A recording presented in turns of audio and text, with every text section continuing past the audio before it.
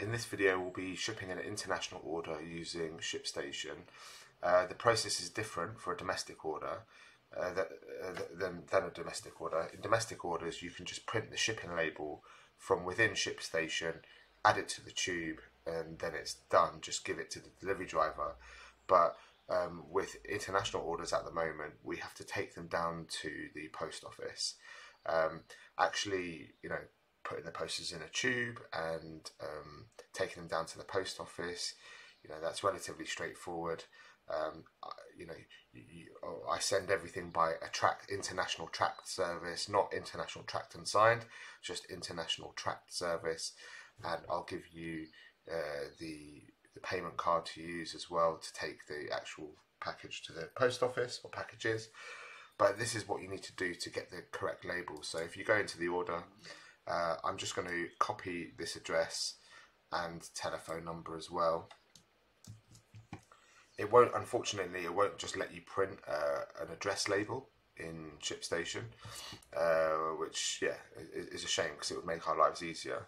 Um, but uh, so what I do is I just copy the address and then open up Word, paste the address into Word clear any formatting. I increase the text size so that it's like full width like this. Then I turn it into a PDF and in order to do that you go to Acrobat at the top here, create PDF. It'll come up with a message saying you need to save the file before continuing. So just say yes. Just save it to, I usually save it to my downloads folder and uh, it's trying. But first, it saves the Word document, save, and then it allows you to sa save the PDF as well, save, and that's just going to generate a PDF uh, version of the label. So it's all opening on my other screen. So this is the PDF version of the label the address label. Uh, so I'm just going to go ahead and print that uh, to my label printer. Okay, you can hear that coming out. And then for other for international orders, there's one more step. Um, we don't actually uh, need those labels anymore, so you can just delete them. The, the only reason we created that Word doc uh, and then that PDF was just to print out an address label. Uh, unfortunately, there is no easy way of doing that in ShipStation.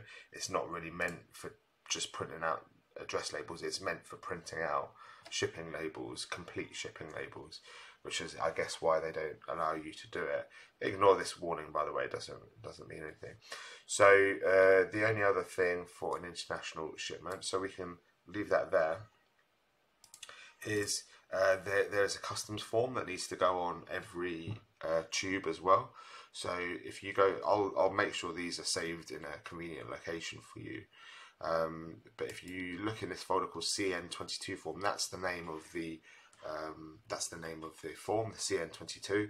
Uh, and I've got pre-filled forms for whether it's one poster in the tube, two poster in the tube, or three poster in the tube, because um, they'll have different commercial values because of it.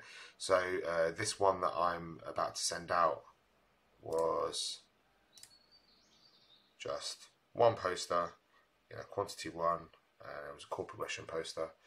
So I'm going to click on the one poster form opens up here. And this is all filled out for you. So sender's name um, uh, address sale sale of goods what's in the what's in it quantity weight value um, you know all that kind of stuff. Uh, so the only thing you need to do is actually date this. So uh, I'm going to print this out. Again just press control P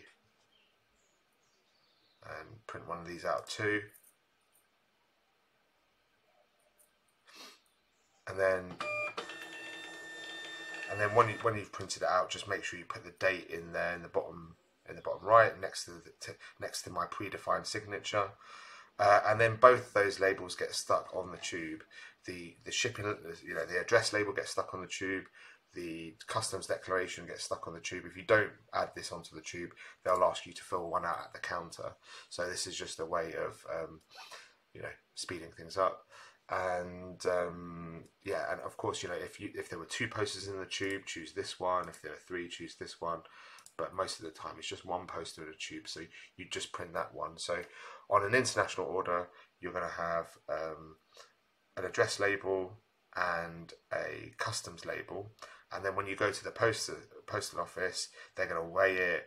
Um, and then they'll put the actual shipment label, shipment sticker on top as well once you've paid uh, for the actual you know postage.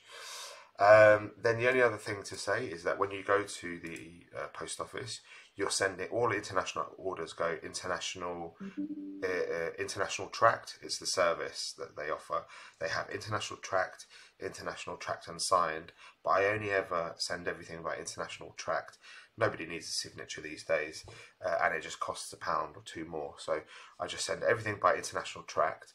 And then what they do once you've handed it over to them at the post office they'll give you a receipt which has a tracking number on it. The last thing you have to do is you have to go and manually dispatch this order because for domestic orders once you book the shipping label it, it disappears from this awaiting shipment page and it goes into the shipped column. Okay because we're not so it goes into here but once once we're so with international orders, we're not booking the shipping label through ShipStation. We're book, we're, paying for it over the counter at the post office. So in in theory, it would it would it would think that we'd never sent it out. Um, but we have to tell it that we've sent it out, and we also have to input the tracking number because that then gets fed back to um, Amazon or my website, uh, and then those tracking details get sent to the customer. So to add the tracking details, you just select the order, go to other actions, and uh, ship. Uh, sorry, uh, mark as uh, okay, mark as shipped. Uh, okay, they've changed this recently.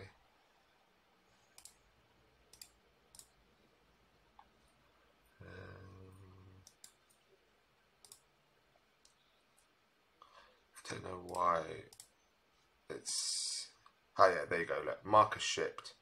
So uh, and then it will ask you who the carrier carrier was who you sent it with you know and I think it defaults to Royal Mail anyway but if it didn't you'd have to choose Royal Mail from this long list of potential um, carriers. PQR there we go Royal Mail you'd enter the tracking number here. It usually starts like LG one, two, three, four, five, something like that. You then make sure you get that correct. Obviously, you're typing it, which isn't ideal. You're looking at a sheet of paper and then typing it into here. It's not ideal. Just make sure it's correct. And then once you have entered in that tracking number, the carrier has been selected.